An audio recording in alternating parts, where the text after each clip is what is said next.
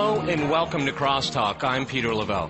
Norman Finkelstein, a strong critic of Israel and American foreign policy in the Middle East, is again in the news.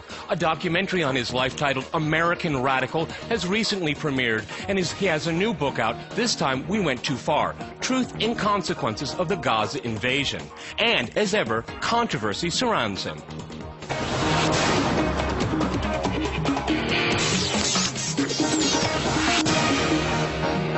So, surprise, surprise, a program on Norman Finkelstein. We have Norman Finkelstein. Norman, thanks for being with us again. We also have Dr. Raanan Gissin in Tel Aviv. He's a political analyst and former advisor to Ariel Sharon. And I also thank you for being with us on the program. And another member of our Crosstalk team, Elena Hanga. All right, gentlemen, crosstalk rules in effect. Um, Norman, you're in the news again. There's a documentary about you, and you have a new book out. Have you seen the documentary about yourself, American Radical? No, I've not seen it yet, but people tell me it's an accurate depiction of me. Well, I've for better or for worse. For better or worse, I have also seen it. I want to go to your book a little bit later. If I go to Dr. Gissin, do you have any intention of seeing this documentary on Norman? Well, yes, if uh, I haven't had a chance to see it, but uh, I would see it uh, uh just to get more informed about uh, Mr. Dr. Finkelstein. Yeah. So you, how would you describe Dr. Finkelstein? I'm, I'm, I'm sure you're aware of him and his work, his past books, many of them, very strong critic of Israel. Is that why you would see the, see the, the film? No, no, I, am telling you, you know, one of the reasons that we survived through so many decades and centuries is because we had diversity of thought. I'm very tolerant to diversity of thought uh, in, in, I would say, in Jewish thinking, in Israeli thinking, except when uh, you cross certain red lines which uh, put at jeopardy the very existence of your own people. Okay, Norman, what do you think those red lines are? Well, I'm not sure if it's true to say that Israel at least tolerates much diversity of thought nowadays. As we speak, there is a witch hunt going on in Israel against those who dissented from Israel's massacre in Gaza during December and January of this past year.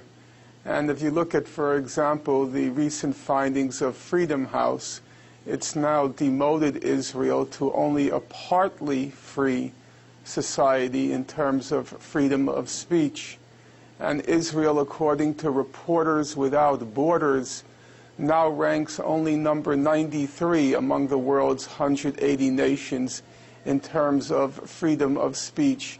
And in fact, I, I, think many of your listeners will be surprised to learn that in the Middle East, Lebanon, the United Arab Emirates, and Kuwait are now ranked higher in terms of freedom of speech than Israel. Okay, Dr. Gissin, I mean, the, you know, Freedom House is considered by most people kind of a, a right-wing operation. I mean, they tend to support people like Israel. How do you respond to that? No, there are a lot of organizations which have a different axe to grind. I mean, the test is the test of result. You come to Israel, you visit Israel, you see the number of political parties, you see Arabs who have freedom of speech more than they have in their own respective country. Come on, all these, these uh, mumbo jumbo coming from the 60s, you know, all this do not apply to Israel today. You know what? I will tell you something about Israel. Israel is not a normal state. You know what Israel is? They declared that this year will be the year of the endangered species. Among the human race, Israel is an endangered species, and therefore Israel is a national park. It's a national park for endangered species, and therefore the, it acts according to the threats that it receives. That's all. But inside the national park, inside the borders of Israel, you come and visit. You see the kind of freedom of speech we have. We, you see even the war, the so-called massacre that he calls in Gaza, which wasn't a massacre. This was a purely the act of self-defense, according to Article 51. Other countries are not brought to court for that. Israel was for various reasons, which I don't want to go into it right now. But we have a right to survive survive. We have a right to defend ourselves. We wouldn't have been here at this stage, you know, after 61 years of a state, if we weren't capable of defending ourselves and defending our values when we defend ourselves. Norman, would you like to reply to that? Endangered species. Every, uh, every well, I'll agree with one thing Mr. Gissin had to say. I think we can all agree that Israel is not a normal state but I'm not sure if that's something you would want to take pride in. The fact of the matter is that each day when you open the newspapers, Israel is, is gearing up for a war against another country, another innocent, often defenseless people. The, this past week they talked about a second attack or Operation Cast Lead 2 against Gaza. Then they talk about attacking Lebanon. Then they talk about attacking Iran. I think it is correct to say that in the modern world, in the contemporary world, there is really no state quite like Israel. Israel is off the cliff. It's become a lunatic state. Dr. Gissin, Norman Finkelstein has been banned from Israel for 10 years. Do you think... I'd like to, you know, this, this program is about Norman, so I'd like to ask a few questions about him. He's been banned for Israel for 10 years. Yeah. What, do you think that's fair? Is he a security well, listen, threat to I, Israel? No, no, you know, I, I'm listening... No, no, I, am listening to him, and you know, I hear the words coming out like they're coming out of their hate websites that are sponsored by Iran today. You know, there are about 7,000 of them. It's the same thing. It's the same type of propaganda. I mean, that has nothing to do with reality. I mean, he say that we live, we're not a normal state, not because we don't want to be a normal state. We're a normal people living no, in an abnormal region. Wait, no, you That's said what it that. is. It's not an hospitable region. When my when my when my great parents okay came from Russia here. in 150 years ago, they came because they came because there was a Bible in one hand. My great grandfather from Dnepropetrovsk came with a Bible in one hand and a rifle in another, and his hand was extended to the Arabs who lived here. Some did make business with him. Other who fought him had to meet the wrath of his rifle. And that's how you live in the Middle East. You, we are a people who want to survive. We succeeded in surviving because we were able to defend ourselves, to stand up throughout the centuries. Go, go ahead, Without Norman. that, we wouldn't all right, have all been right. there. That's why we all right, are all an right. endangered species. All right, let's go to Norman here. Go ahead. It is an oddity that you say you're coming and you want to live in peace with somebody. You come with a rifle in your hand. I often have friends visit me at my home, and when they come to my home, they don't come so with did the first settlers in the United so you States have of to America. ask yourself an obvious question. So did the first settlers you in Dr. have- Gissin, Dr. no, Gissin, please, please I- let I- get Dr. Gissin. Please let Norman I- finish I- his I point. appre- I- Go ahead, Norman. Finish your point, please. Uh, I, appre- I, I appreciate Dr. Gissin's comparison because I think it's exactly right. The first Euro Americans who came to North America came with a rifle in hand because they came with the intention of displacing and dispossessing the indigenous population. That's why they needed a rifle. And most Americans nowadays at least acknowledge the fact that what was done to the indigenous population of North America was wrong. And it's exactly for the same reason that Israel, or I should say, Jews from Eastern Europe had to come to Israel or Palestine with a rifle in hand because their intention was not to live with the indigenous population, but to displace and dispossess it in order to create a Jewish state in an area which was overwhelmingly Arab. And uh, I think pretty much everything that ensued after that followed from that basic fact. Uh, nowadays, I would say there's po- there, are pro- there are possibilities.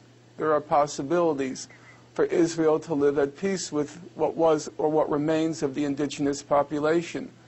But unfortunately, Israel is unwilling to resolve the conflict Sorry. along the lines of international law, which would allow for some sort of coexistence between Israel- Israel and the population that was displaced and dispossessed. Okay, okay, let's go back to Tel Aviv. Does Israel want to have peace with its neighbors, and can the Well, you know- Palestinians have their own state as well? Yeah, you know- I mean, consistently, the United States and Yes, Israel are the only can, two countries in the world. they can, They're the not- only two countries in the world that block this consistently, consistently at the United Nations. So does Israel want no, to have but, peace? but, go but ahead, Dr. Dr. But go Dr. ahead. Finkelstein, no, yeah, but the, Dr. Finkelstein's formula is, a, is an insured formula for committing suicide, not for living in the Middle East. You have to live with the realities in the Middle East. I would like the Middle East to be like North America. I would like to be the Middle East to be after 400 years of bloody wars like Europe, but it's not. It's still a young region. It's, it's fraught with conflict. The Arab Israeli conflict is not the only one. There are more conflicts than states in the Middle East. There are 22 states with one Israel, and there are over 30 ongoing conflicts in the Middle East. Let's face it. The, the, the, the biggest, the largest conflicts here are between Shiite and, Shiite and Sunnis, not between Israel and, and, and its Arab neighbors. And Israel came with good intentions. Israel came with the intention to live alongside the Palestinians. And let me say, the way, you know, when my great grandfather came from Russia, you know what he said? He had it very right. And he had the Bible as his guide. He said, the rights of the land are ours because this is our land. This is why I came back, because this is our ancestral homeland. People who live Okay, on the Doc- land have rights. Dr. Gissin, I'd and like- we try Dr. to live with those people. We're going. they we're- Dr. refuse to Gissin, please. us. We're going to the break. Norman, would you like to have a quick word before we go to the break? Yes, I wonder, Dr. Gissin, if I came with a Bible in hand to your home, I knocked on your door, and I said, according to my Bible, my family lived where your home where your home is. My family lived there 2,000 years ago. Would you pack up your bags and leave? All right, gentlemen, that, that's a very interesting point. 3,000. Gentlemen, we're going to go I'm to a waiting for break, your an- and when I'm we waiting for your return, we will continue our discussion on the Middle East and many other issues. Stay with our team.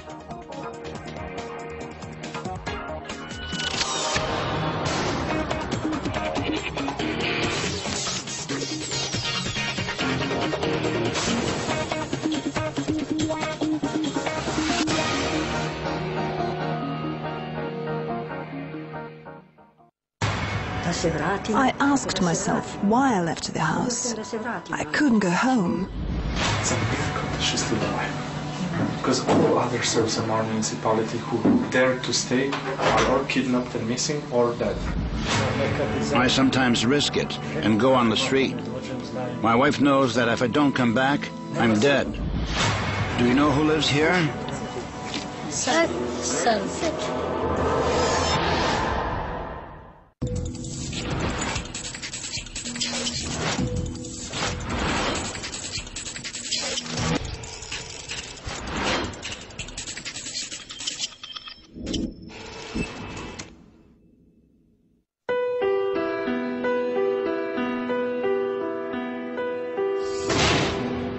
had to go shoot a 10 year old boy over there. We train them how to kill. We as officers develop the orders for them to kill. But we never explain to them why it's okay. Most people at the point of looking down and time to pull the trigger became conscientious objectors. I don't remember squeezing the trigger, and I, re- I don't remember um, seeing him go down. All I remember is that we shot at him. Keep shooting. Keep shooting. people on the other side are soldiers too. And soldiers do what soldiers do. And they're trying to kill us, we're trying to kill them, and that's just the, the ugly face of war. See that enemy dressed in black. See that enemy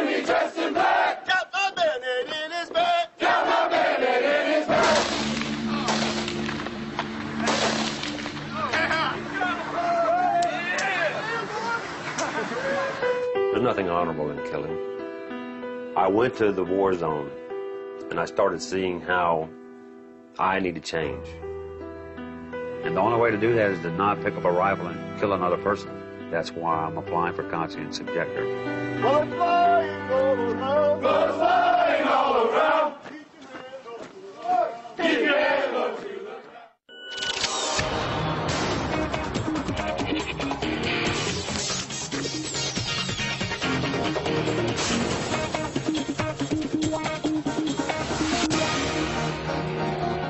Welcome back to Crosstalk. I'm Peter Lavelle.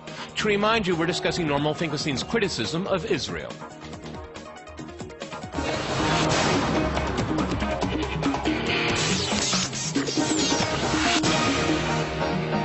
Before, let's see who Russians tend to blame for Middle East tensions.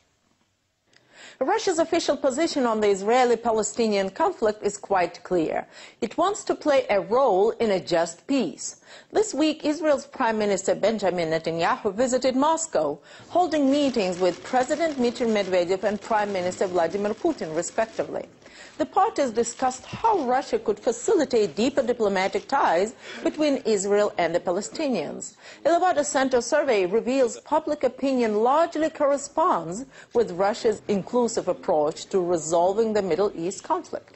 When asked who was responsible for instability in the Middle East, 26% of respondents said it was the United States.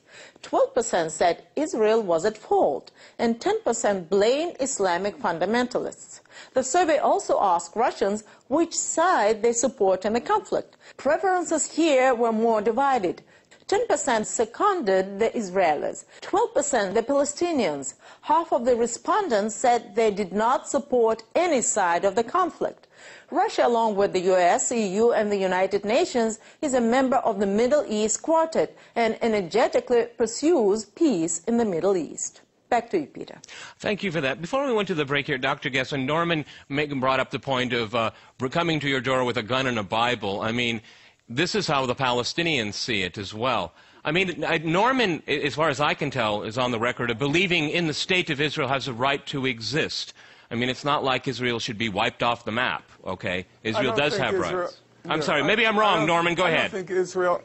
Go ahead, Norman. I don't think Israel or any other state has a right to exist. I don't think Israel or any other state, for that matter, has a right to exist. They do exist, and under international law, mm -hmm they have very specific rights and duties as a member state of the United Nations. And, beyond, uh, and as far as I can tell, all of the Arab states, in fact, the entire United Nations, has been willing to grant Israel its rights and duties under international law. The problem is, as anyone can tell from the record, the UN record, the record of the International Court of Justice, is that Israel refuses to recognize the rights of the Palestinians to their state and their right to self-determination, their right to their homeland. That's, not true. That's the obstacle. The obstacle is not, not recognition of Israel. Okay, Dr. Gissin in Tel Aviv, go right ahead, reply. Mm -hmm. Well, maybe you can explain why it's not true. I want to say that. I, yeah, I will tell you why. I think you're engaging in the most, uh, it's a dangerous exercise from the point of view of what, you know, we're talking, it's very popular to talk about uh, Holocaust deniers, but those who deny history, those who are not willing to accept history, are committing a worse crime. Because I can accept post historians like you. I can accept that. But denying historical facts, known historical facts, the pogroms were launched against Jews here, not against the well, Arabs. Can you give an example? The Jews were those who tried to can you make an, peace with the Arabs when they come here. Can you give an example Of a historical fact? 1929, 1936, the first the reason that we came with a rifle and a Bible is because it wasn't safe to come with a Bible alone. And when we came only with our books, our books were burned.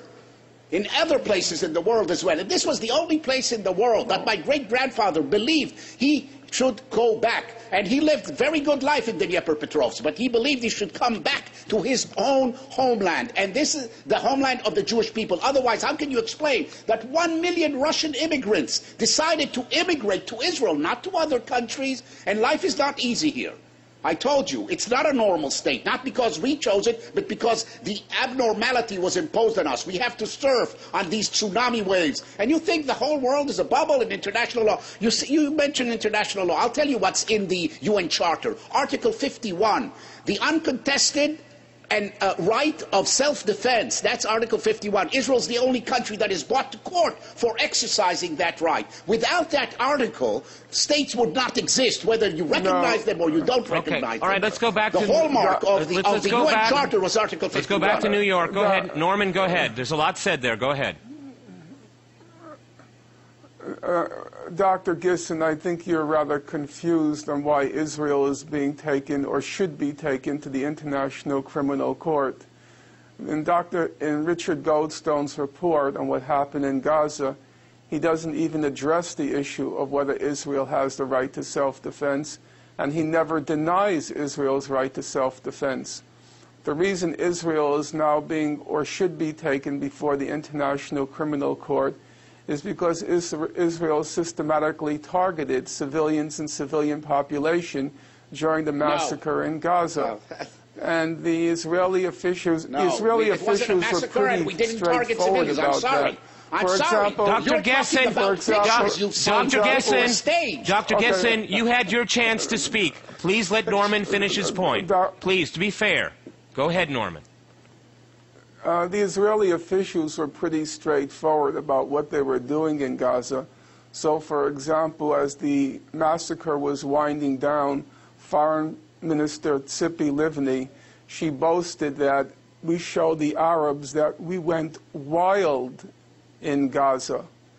The day after, or two day, the day or two days after the Gaza massacre ended, excuse me, on January 19th, Tzipi Livni went on Channel 10 News in Israel, and she boasted that we carried on like real hooligans in Gaza, and that's what I demanded, or so she You said. sound like Uh, the sound evidence is like- quite overwhelming. like Hamas website. it- it's- the evidence is quite overwhelming.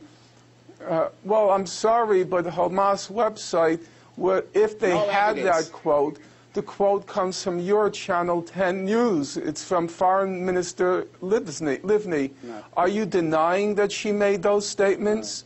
Are you denying that Yes, Foreign I- Minister Livni I- said I we went wild made, in but you- Gaza? you have- are you you denying have a- that Foreign? Are you denying No, that you Foreign? Are you denying that Foreign Minister Livni said that we conducted context. ourselves with?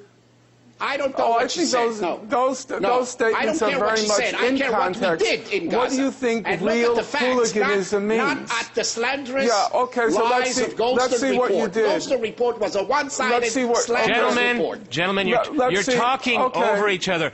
Dr. Gissin, so what Norman Finkelstein is saying Okay, is not. No, let me let me jump in here. What Norman just said is not true. Is that what you're saying? It is not true. It is not factually true.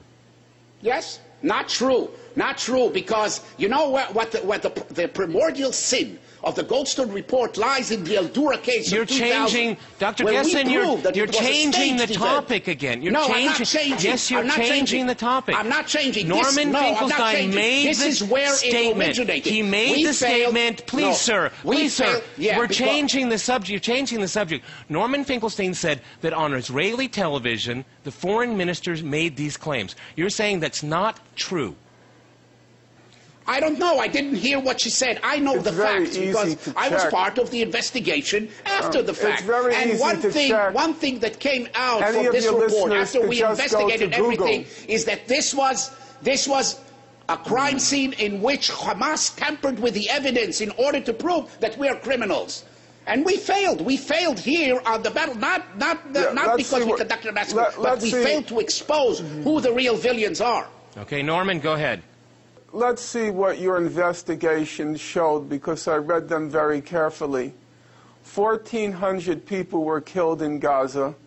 Of those 1,400, up to four fifths were civilians. About 6,000 homes were completely destroyed in Gaza. About 80% of the agricultural crops were descro- destroyed in Gaza. The only flour mill in Gaza was destroyed.